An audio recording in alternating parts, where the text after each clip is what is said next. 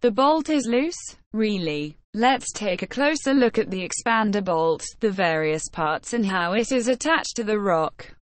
When the hole is drilled and dust is removed, the bolt is placed in the hole and is knocked in with a hammer.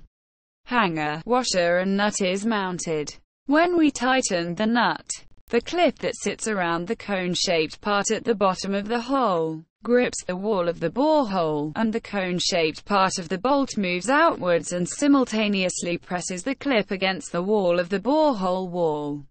Now the bolt is very tight, and it is the clip at the end of the bolt that holds the bolt itself.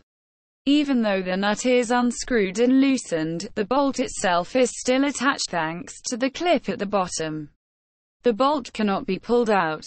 Loose nuts and spinning hangers doesn't mean that there have to be anything wrong with the bolt itself. It is not uncommon for nuts to unscrew, with the result that the hanger becomes loose and spins around the bolt.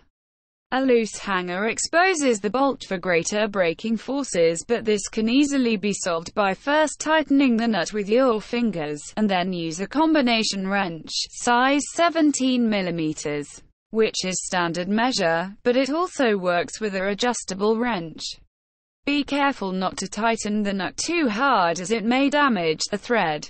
If the threads are damaged, it is not possible to tighten the hanger properly and it is usually noticed that the nut is abnormally sluggish or that the whole bolt rotates.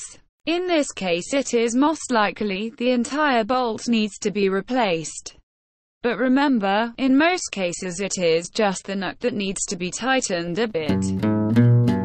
A problem that we all can help with by having a combination wrench, size 17mm, or adjustable wrench with us when we go climbing. Happy plonk climbing!